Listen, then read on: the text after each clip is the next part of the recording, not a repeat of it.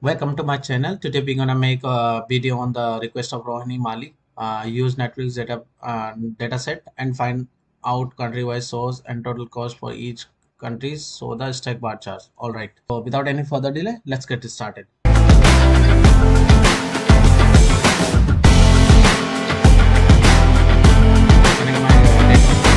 so i'm using the netflix titles netflix title cast and countries we right? So for that uh, we will create one calculated field first uh, by the name of total cost by countries or you can name as you want. So for this we will use the LOD fixed open the bracket and we will select here the countries and close it. We will use a semicolon over here and then we will use counted as a cast wise right?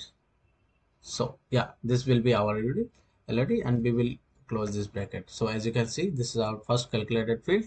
And, and then we will create one more calculated field by the name of uh, i'm using the name total so by countries.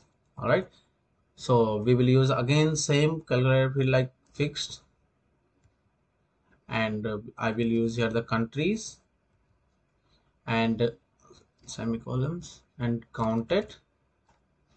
Sorry count it. We will use so id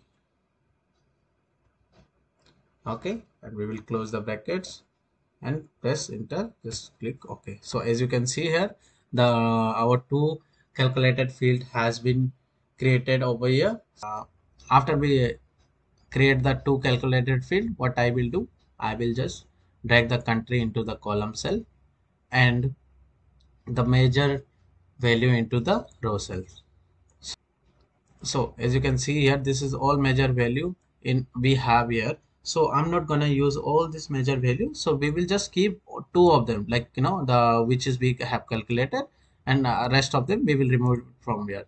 So for that i what i will do just remove it.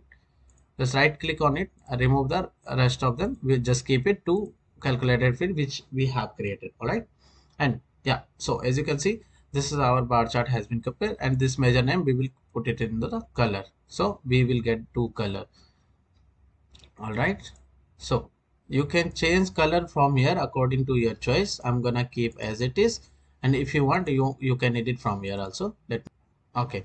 So this is the color part has been done.